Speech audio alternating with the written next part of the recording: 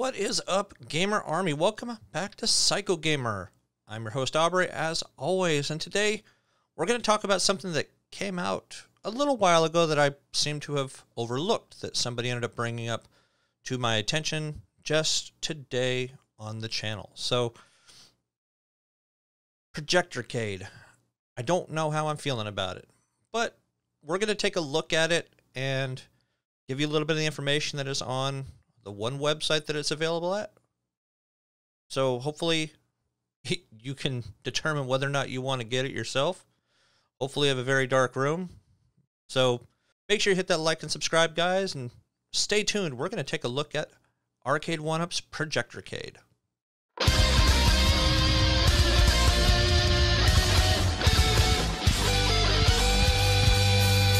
All right, welcome back. I'm not anticipating this to be a very long video, but I hope you guys do like the information and content that you're going to walk away with today. So, Arcade 1UP is well known for doing their arcade cabinets, their partycades, their countercades, and any of the other cades, maybe Gatorades. I don't know. Fact of the matter is, this is their first venture into what has been known as the projector Projectorcade. Now, I did see this pop up on some forums probably in the past month or two, and I thought it was actually a joke, but apparently it's a real legitimate thing. So, we're going to jump into my computers. We're going to take a look at the QVC website to see what this thing is all about. So, here we are QVC's website, Arcade One Up Pac Man Projectorcade Home Arcade Projector. So, just looking at this, just first look, I'd say you probably have about $20 worth of wood here. Even with the overinflated prices right now.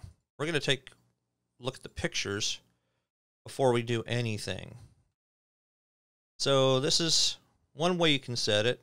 This is where you actually have the projector which from my understanding it's only maybe about a three or four hundred dollar projector to begin with, so you're really not paying that much more for it, other than for the branding and for the actual control deck arcade joystick over anything else. So this looks like a little shorter version of it. I think what it is is you can take this entire little cabinet out and set it on the floor. So yeah, it looks like the little insert right there can actually come out and sit by itself. It actually has this. I'm assuming this is for adjusting the actual angle of the projector itself. Here's your control deck. It is a single player joystick. So as you can see, it's going to have your one and two player. It has your four directional joystick. You have your on off volume control, and you have your three buttons. Why? Because this is not Pac Man only. There are actually a multitude of games on here, which equal up to about 12 games. So, which is kind of typical for some of your more current Pac Man, Miss Pac Man type games.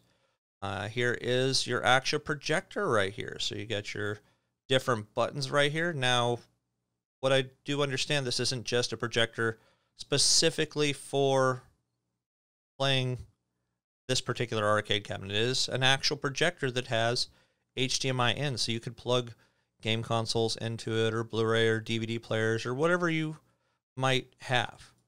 Now, looking at it, yeah, they're playing in a pretty dark basement, other than the picture they're taking.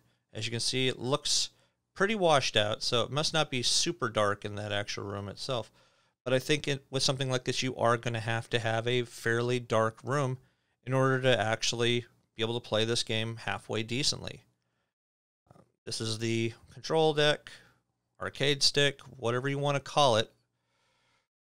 And here it is on the side of a house in a very dark setting. So if you don't have a very dark setting at all, guys, if you have a house that's got a ton of windows, you're probably only going to be playing this thing at nighttime.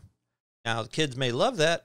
Put it in their room, put it on their wall, put it on their ceiling. They can lay in bed and do whatever, uh, just so they can get the full effect of this particular game.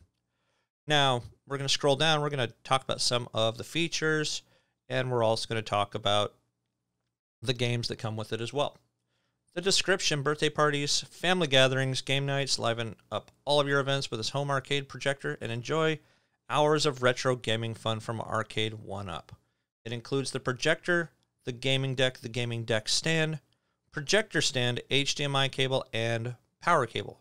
It does include 12 games Pac Man, Pac Mania, Pac Land, Rally X, Galaga. I'm assuming this is Galaga Plus or Gaplus. Galaga 88, Dig Dug, Xevious, Rolling Thunder, Dragon Spirit, and Mappy. Can be used as a TV, plug and play, or with Arcade One Up home projector. So you can plug other things into it other than just this particular arcade joystick. Multiple deck storage measures 18 by 43 inches. I'm guessing that's wide, might be depth. They never say in here. 20.8 inches. I'm guessing that's wide. And 38.98 inches. That must be your height. 46 pounds. And you get a 90 day limited manufacturer's warranty, which really isn't much. I would hope you'd get more with the manufacturer of the actual projector itself because you know they didn't make that projector. All they did was slap their name on the front of it. There's got to be some brand on the back there. Now you do have your focus, your keystone. Like I said, you have all your other buttons here for navigating around the menus in this particular cabinet. Now, it is on sale for $423.96. Pretty sure that that particular projector itself is going for probably about three, four hundred dollars by itself, maybe even less. Sure, it's most likely 720p, maybe not even 1080. If Any of you guys know any of the other specifications about it? If you've managed to throw your money away and actually get it, post down below, let us know. But this game can be purchased right now. So it is add to cart, and you can buy it and have it shipped straight to your house. It does have a couple of reviews on it. Projector works fine. Somebody said that it shuts off after about an hour of use. I think the person may probably have a faulty fan on the inside of it, which Thomas Grillo, I don't know who you are, but hopefully you can get that taken care of and fixed as well. So that's really going to do it, guys. There's really not much more to really talk about when it comes to this particular machine. I mean, projectors are cool if you have a really dark room. Unfortunately, most people don't have real dark rooms. They don't have blinds with blackout curtains and things like that all in their house.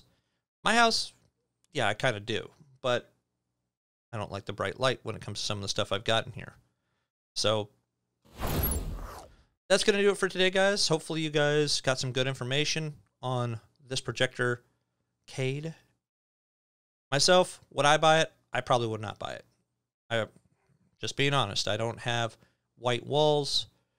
I don't want to get a projector screen. I don't want to put up a big white sheet. You know, there's a lot of factors in terms of this. You know, there's other costs if you want to do it right and do it correctly and have it look like it's supposed to. A wall is cool and all, but you know, you're going to still have all the imperfections of the wall that could affect you with your game. So, what do you guys think? Post down below about the Projectorcade. If you liked it, if you liked the idea of it, I don't know. I'm not sold on it myself. But make sure you hit that like and subscribe, guys. Stay tuned. We're going to be back with more PsykoGamer and me. And until then, guys, game on.